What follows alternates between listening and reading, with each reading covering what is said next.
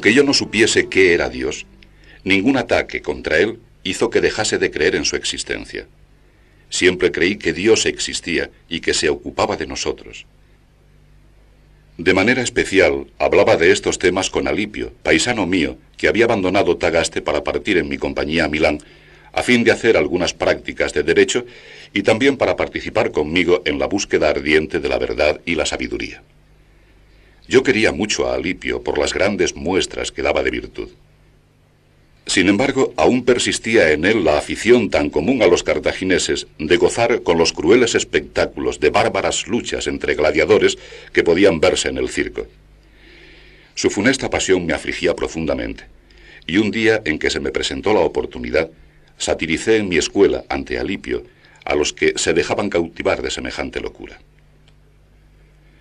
Aquel prudente muchacho, reconociendo su error, llegó a aborrecer tales espectáculos mas un día, y aun cuando se resistió cuanto pudo, unos condiscípulos suyos le empujaron al circo donde no se veía otra cosa que placeres llenos de crueldad. Alipio les había dicho, aunque a mi cuerpo le llevéis, por fuerza, no podréis obligar a mis ojos ni a mi alma a que atienda y mire. Estaré allí como si no estuviera, y de este modo triunfaré de vosotros y de tales bárbaros espectáculos. Cerrando los ojos, intentó no ver pero la gritería del pueblo pronto se los hizo abrir, y al ver la sangre derramada, fue deleitándose en la maldad de la pelea entre los gladiadores y embriagándose con el crimen que significaba. Ya no era el mismo que había ido. Vociferó, se enardeció y salió de allí con una locura que le estimulaba a volver no solo acompañando a los que le habían llevado, sino arrastrando consigo a otros. Pero tú, Señor, con tu mano omnipotente y misericordiosa le sacaste de aquel abismo y le enseñaste a no poner su confianza en sí mismo, sino solo en ti, aunque esto fue mucho después.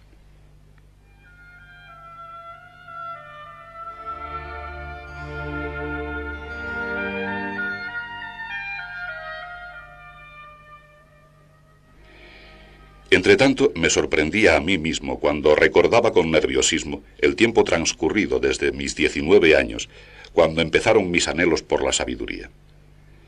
Pero ya contaba 30 años y seguía vacilando con la misma avidez por disfrutar de las cosas del mundo, que se desvanecían y me desintegraban poco a poco.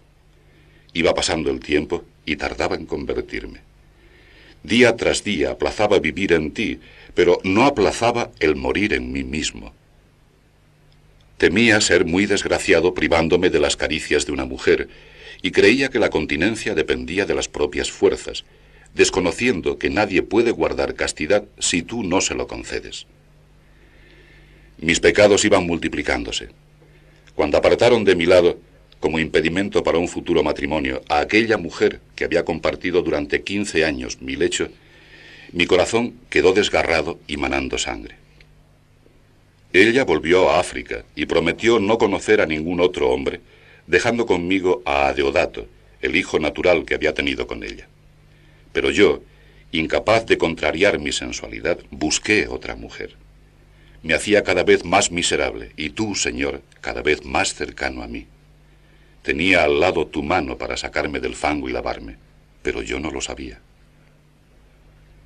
Ya me iba adentrando en la madurez Cuantos más años tenía, más estúpidamente vacío me volvía.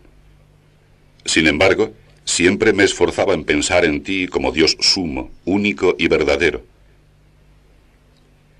Con toda mi alma te creía incorruptible, inviolable e inmutable, porque veía con claridad que lo que se corrompe es peor que lo que no se corrompe, y que lo que puede ser dañado es inferior a lo que no puede serlo, y que lo inmutable es superior a lo que sufre cambio. Pero no podía explicarme el origen del mal. Y caía de nuevo en la oscuridad cuando me preguntaba, ¿y a mí quién me ha hecho? ¿No ha sido mi Dios, que no solo es bueno, sino que es el bien mismo? Entonces, ¿de dónde me viene el querer el mal y el no querer el bien? Aunque volvía a hundirme, nunca caí en ese infierno de algunos que prefieren creer que tú padeces el mal antes que decir que es el hombre quien lo hace. Allí donde había descubierto que lo incorruptible es mejor que lo corruptible, allí mismo debía haberte buscado, y desde allí haber buscado también el origen del mal, es decir, el origen de la corrupción, que ciertamente no puede venir de ti. Ni por voluntad, ni por necesidad, ni por ningún caso fortuito puede la corrupción afectar a Dios, ya que Él es el mismo bien y la corrupción no es ningún bien. Pero ¿para qué tantas palabras para decir que Dios es incorruptible? Si fuera corruptible no sería Dios. A todas estas cosas daba yo vueltas, apesadumbrado con el miedo a la muerte y sin haber hallado todavía la verdad. Pero tú, Señor, te compadeciste de este polvo y ceniza y quisiste corregir mis deformaciones. Conseguí por entonces algunos libros de los platónicos, y en ellos leí, aunque no con estas palabras, que en el principio ya existía el verbo, y el verbo estaba en Dios, y el verbo era Dios. Por medio del verbo fueron creadas todas las cosas, y sin él no se ha hecho nada de cuanto ha sido hecho. En el verbo había vida, y la vida era la luz de los hombres. La luz brilla en la tiniebla, y la tiniebla no la conoció.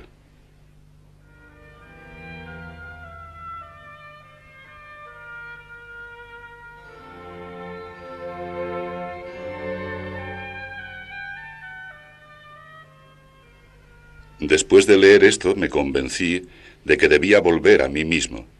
Penetré en mi interior siendo tú mi guía, y ello me fue posible porque tú, Señor, me socorriste. Entré y vi con los ojos de mi alma, de un modo u otro, por encima de la capacidad de estos mismos ojos, por encima de mi mente, una luz inconmutable.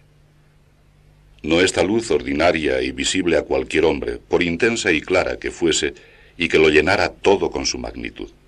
Se trataba de una luz completamente distinta. Ni estaba por encima de mi mente, como el aceite sobre el agua o como el cielo sobre la tierra, sino que estaba en lo más alto, ya que ella fue quien me hizo, y yo estaba en lo más bajo, porque fui hecho por ella.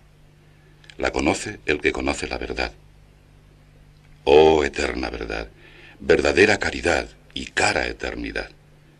Tú eres mi Dios, por ti suspiro día y noche y cuando te conocí por vez primera, fuiste tú quien me levó hacia ti para hacerme ver que había algo que ver y que yo no era aún capaz de verlo.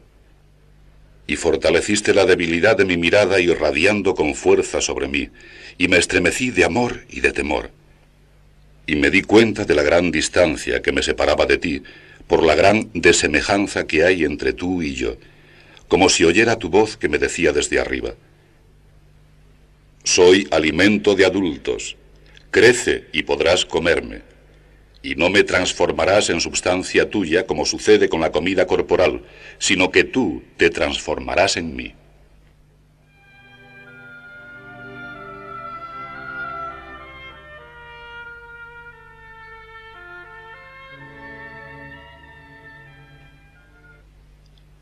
Entonces supe que sirviéndote de su maldad, Tú has aleccionado al hombre. Y me dije, es que la verdad carece de entidad por no encontrarse extendida en el espacio, sea finito, sea infinito. Y Dios me respondió desde lejos, pero yo soy el que soy. Y lo oí como se oye interiormente en el corazón, sin dejarme lugar a la más mínima duda.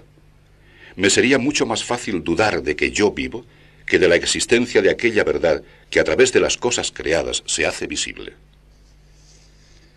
Me puse a observar las cosas que están debajo de ti. Vi que es evidente que tienen que ser buenas las cosas que se corrompen. Si no tuvieran alguna bondad, no habría en ellas cosa alguna que pudiera corromperse. La corrupción deteriora y no existe deterioro si no hay disminución del bien. Por consiguiente, sean cuales fueren las cosas, si son son buenas. Y el mal, cuyo origen buscaba, es nada, ya que si fuera una cosa tendría que ser un bien. Así es como yo vi este problema y comprendí que tú hiciste todas las cosas buenas y que no hay en absoluto nada que no haya sido creado por ti. En definitiva, para ti el mal no existe. Y no solo para ti, sino para el conjunto de lo que tú creaste. No hay nada que pueda destruir el orden que tú, Señor, pusiste en el universo.